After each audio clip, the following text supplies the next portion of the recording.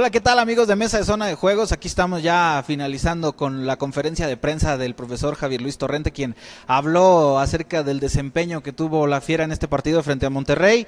A él le gustó, Habrá gente que pueda estar o no pueda estar de acuerdo con, con lo que dice el técnico. A mí en el caso particular me parece que el Monterrey en el primer tiempo pudo haber anotado eh, algunos goles más. Ya será cuestión de que puedan opinar eh, también ustedes a través de las redes sociales si están de acuerdo o no con el técnico que habla de que se puede ilusionar la gente con lo que está haciendo el equipo. Me parece bastante complicado. Por lo pronto vamos a ver los goles y en un ratito más regresamos aquí. Bueno, en un ratito más no, en dos minutitos más estamos de vuelta. Todo, todo el equipo animado derecho. De ya está recuperado Fernando Navarro, viene Funes Mori, viene Funes Mori, gol. ¡Gol! Como le puntean la pelota, se mete en medio de Mosquera y de eh, Diego Navarrete.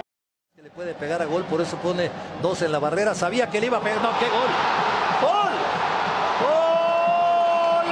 Quizá podía haber hecho algo más, pero termina lanzándose a mano cambiada. Cuatro esperando servicio. Aquí viene la jugada. Pasada, pasada, pasada. Boselli, Boselli.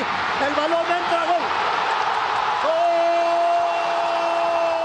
Pues ahí están los, las anotaciones de, del Monterrey, que el día de hoy se lleva la victoria con León, se lleva la victoria, perdón, frente a León 2 por 1. Eh, también se habla acerca de que hubo algunos gritos racistas sobre Avilés Hurtado. Seguramente la liga tendrá que analizar esta situación, a ver si hay alguna manera de, de perdón, Dorlan Pavón, para ver si hay una, alguna manera de poder comprobar esto y pues esperemos eh, si hay alguna sanción para el Club León. Por lo pronto, esto fue todo el día de hoy en Mesa de Zona de Juegos, les trajimos los goles, síganos a través de redes sociales y el lunes se los volvemos a poner en la mesa de juego. Les agradecemos mucho su atención y hasta pronto.